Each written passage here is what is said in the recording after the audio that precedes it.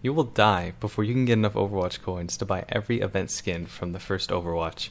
And for the impatient, spreadsheet with these numbers are going to be in the description in case you don't want to watch the rest of the video. So me and my friends were playing some Overwatch 2 when we looked at the shop and saw you could actually buy the Overwatch 1 event legendary skins for 1,900 Overwatch coins. And this being a freemium currency, you can actually get this for free without paying money. However, you can only get 60 Overwatch coins every week by grinding out every weekly challenge. So then we got thinking, well, if we wanted to buy this legendary skin, just one, how long would it take? When we did the math, it takes eight months to get just one legendary skin, which you might have seen on Reddit. There was a Reddit post about that. So then this got us thinking further.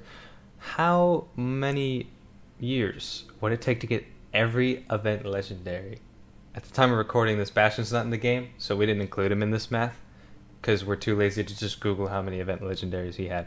So anyway, we joined our very vital skills together, such as my friend's skill to start a new Excel sheet, my skills in making equations in Excel, and then my other friend's skills of making vital graphics that give a good representation of the Excel sheet itself.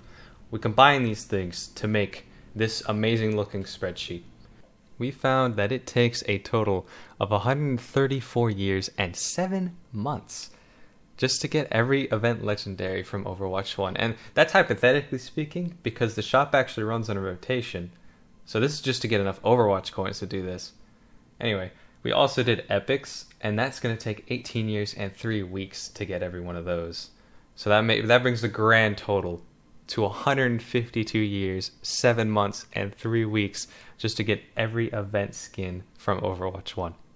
Oh, and in case you're wondering, since 1,000 Overwatch coins is equivalent to $10, if we're not including the bonus coins you get for buying the more expensive ones, that means in order to actually just to buy these, to buy every event skin, it would cost four thousand three hundred and ninety six dollars.